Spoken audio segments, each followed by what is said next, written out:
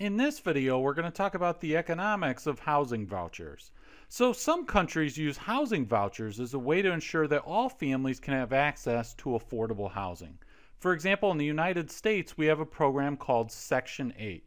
And Section 8 provides vouchers to low-income families to make sure they can get housing. And the way that Section 8 works is this. So for a given neighborhood, uh, you assess what is the fair market rent for that neighborhood. And then the tenant he or she is going to contribute 30% of his or her income toward the fair market rent. So let's pretend that the fair market rent for a neighborhood was $1,200 and that the tenant, 30% uh, of his or her income, let's say that that is $400. So what's going to happen is that that $1,200 fair market rent, we're going to subtract the $400 that the tenant pays, and that's going to leave a shortfall of $800. There's going to be $800 left that the, the tenant can't afford. And the voucher, the Section 8 housing voucher, is going to cover the remaining amount. So that $800 is going to be a subsidy. Right? That's a subsidy from the federal government.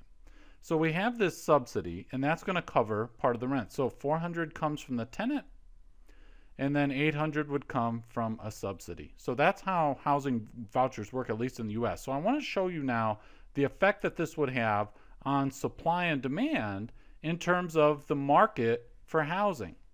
So let's think about this.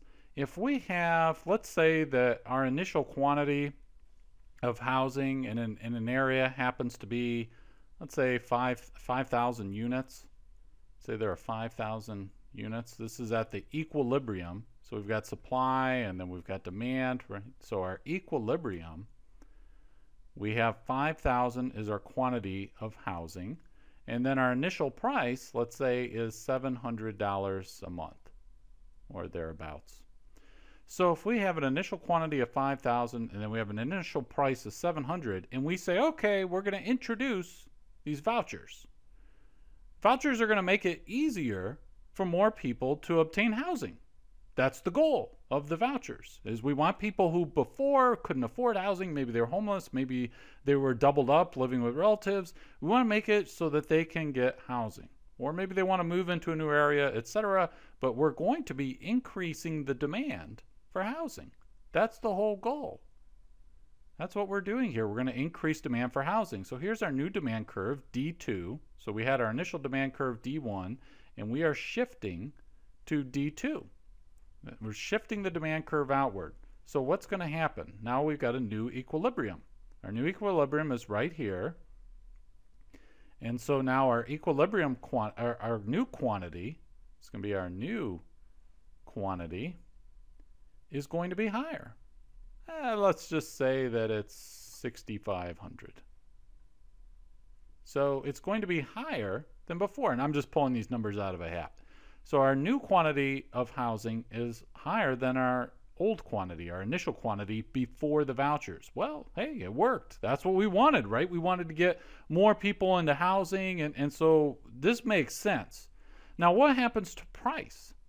So let's look from our equilibrium here, and let's go outward. So we say, okay, let's go and extrapolate this over to our y-axis, and now we've got our new price of housing. Well, we can see immediately the new price is higher than the old price, the initial price before the voucher. So let's just say that it's $900 a month or something like that. So you see that the 900 is higher than the 700. So what has happened here? Well, we've introduced these vouchers, so we've made it easier for people to get housing. So we've increased the equilibrium quantity of housing. That has gone up because our demand curve shifted to the right. We've also increased the price as we have more people now who are entering the market for housing. If the price didn't go up, then we'd have a shortage, right? So landlords are going to say, oh, okay, well, there's more people now wanting to buy housing. They've got vouchers, and so we're going to increase the price. That's what happens. Now, you might be wondering, well, is this a good thing? Is it a bad thing? I mean, we're intending to make housing more affordable and now the price is going up. So what is going on there? And I will leave to you whether it's a good or bad thing, but here's a justification for why that might not be a serious problem. We might have a situation with our market for housing Where housing, affordable housing, can be viewed as a situation where there's a positive externality. I have another video on positive externalities if you want to check it out, but let me just give you the basic idea. So, when families are able to obtain affordable housing, there are certain benefits that come from having affordable housing. So, people who get affordable housing and couldn't afford it before, let's say before they were in a homeless shelter, eh, it didn't have to be a homeless shelter. Maybe they were living with relatives or whatever, but they didn't have stable housing. And then now we get them into housing because now the housing has become an affordable option to them. It also could be that they were in a rough area, it was high crime, and now we got them into a better area. A number of things could happen, but the idea is that we get them into a better situation housing wise. Now, when we do that, when we get them better housing, if they have children, for example, their children might be more likely to graduate from high school. And if they graduate from high school, they're going to probably have a higher lifetime earnings. They're going to have higher lifetime earnings. They're going to, that means they're going to be a more productive worker.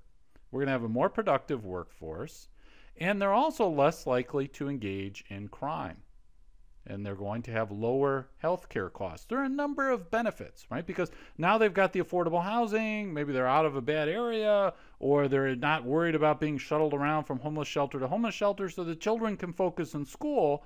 And so we have these different benefits. We have these benefits that come from having affordable housing. But here's the issue, and this is the nature of the positive externality. When a family is considering, when they're making the decision whether to buy housing, not to buy housing, etc. They're having different. They're only considering their private benefits.